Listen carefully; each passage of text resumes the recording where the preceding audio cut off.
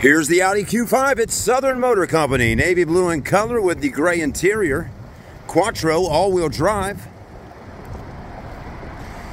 If you haven't ever been inside an Audi Q5, you're in for a delight.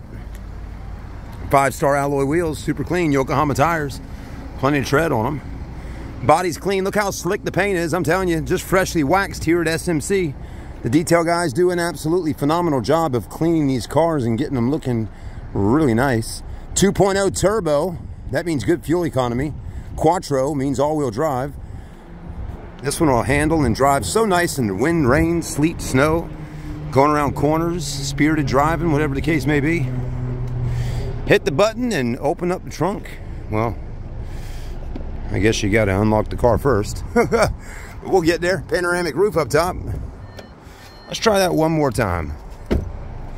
See if that works for us. Okay, maybe not. That's all right. We'll go ahead and take a look in the back seats here. This one does have the gray leather interior, super clean. Look at those seats. Wow. All right, man, the guy on the motorcycle is cruising down the road with his speakers and his music. Such a cool little guy. I like him. He's really fun to listen to when he's riding down the road on his little Tonka bike. Anyways, I'm liking that. Those seats look nice. get the power options. I love the noise this makes when you're opening the doors. It's such a fun sound. Makes you really want to get inside an Audi and just enjoy the test drive, you know. SD card slot, SIM card slot, backup camera. This one's pretty good on the mileage. 104,000 miles, not bad at all, right? Hit the button here. I knew that power tailgate worked.